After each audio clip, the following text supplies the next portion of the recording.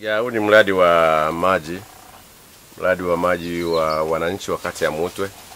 Mutwe ni kata iliyoko wilaya ya Mleba, moja ya kata 43 za wilaya ya Mleba.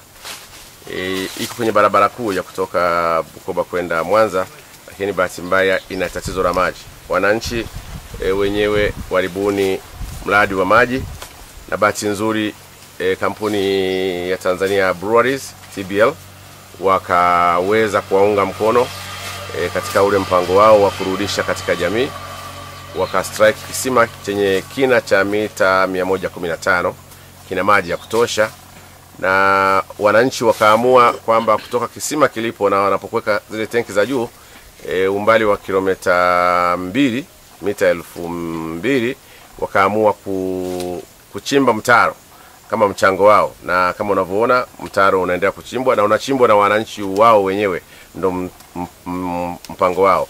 E, watu wa TBL wana mpango wa kuweka tenki mbili za kusambaza maji, tenki zenye ujazo wa lita elfu ishirini moja kumi moja kumi. E, lakini mpango wa wanakijiji sasa wa kuwajumuisha watu wa kata nzima e, wamekubaliana kwamba tuweke e, tengeneze mfuko ambao utajenga tenki kubwa lenye uwezo wa kujaza lita mia moja hamsini elfu litakalopandishwa juu kama mita saba nane. Sasa likipandishwa juu litaweza kusambaa kata nzima kwenda urefu wa kipenyo kama mita na, ki- kilomita nane. Utasambaa kilomita nane kwa umbali wa juu zaidi, uweze kuwafikia wananchi wengi, uweze kufikia kwenye mashule yote, uweze kufikia kwenye zahanati, uweze kufikia kwenye nyumba za ibada. Na kimsingi mpango wa wananchi ni kwamba wao wananchi watajitolea kuleta vifaa ambavyo vinaweza kupatikana, watafanya nguvu kazi, lakini watawashawishi hata wananchi wakazi wa hapa ambao e, wanaishi nje ya sehemu hii, lakini na mimi kama mbunge lazima niangaike kuweza kuangalia naweka kiasi gani, lakini e, wadau, watu wazuri, watu wenye mapenzi mema kama Tanzania Breweries, na wao tutawaomba e, waje wamuunge mkono Tanzania Breweries kusudi tuweze kuweka e, hizo tenki za maji ambazo zitapunguza tatizo la maji. Vijana wanasumbuka e, wazazi wanasumbuka, wanapoteza muda mwingi kufata maji, na kama mwaka jana tulipopata kiangazi kibaya e, ilikuwa ni hali mbaya ya kuweza kutafuta maji. Kama tunavyosema kwamba tunataka kujenga afya ya wananchi, afya ya wananchi inajengwa katika maji.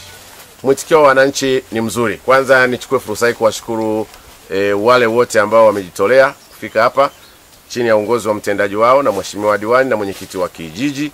E, watu wamegawana maeneo hizo kilomita mbili mita elfu mbili watu wamegawana vipande vipande, lakini jambo la muhimu, wananchi wamekubali mtaro uchimbwe, mazao yaharibiwe, iwe mibuni, iwe migomba, iwe maharage. Sasa hivi ni msimu wa maharage, watu wamekubali kwamba kitakachoharibika na kiharibike, hakuna fidia. Wananchi wanataka maji. Kwa hiyo mwitikio wa wananchi ni mzuri, na ningependa nichukue fursa hii kuwashawishi watu wengine waige mfano wa wananchi wa kata ya Mutwe na kwa kuanzia Bisore katika kujiletea maendeleo wao wenyewe. Yaani mtu ana, yuko tayari kupoteza akiangalia maslahi mapana ya wale ndugu zake au kijiji kizima na kata nzima. Jina naitwa Esther Beriani kutoka katika kitongoji cha Mshonde kata Mutwe kijiji cha Bisore.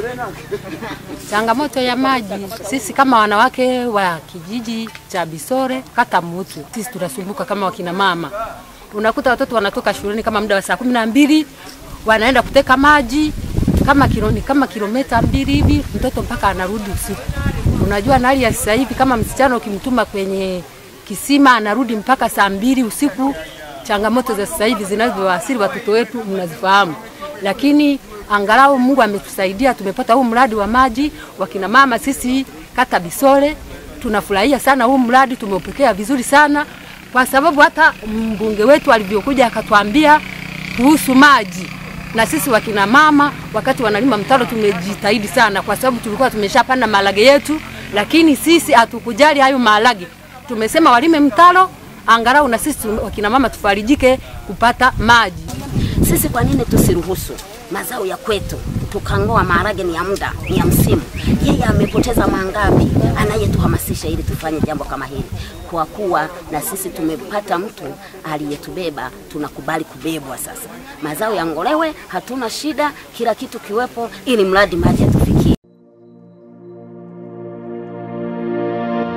Millard Ayo anayo furaha kukupa taarifa kwamba application mpya ya Millard Ayo imeanza kufanya kazi na kwa sasa inapatikana kwa wenye simu za Android. Kiurahisi kabisa, habari zote utazipata kiganjani saa 24, habari za mastaa, siasa, video mpya, lifestyle, michezo na mengine mengi ya dunia.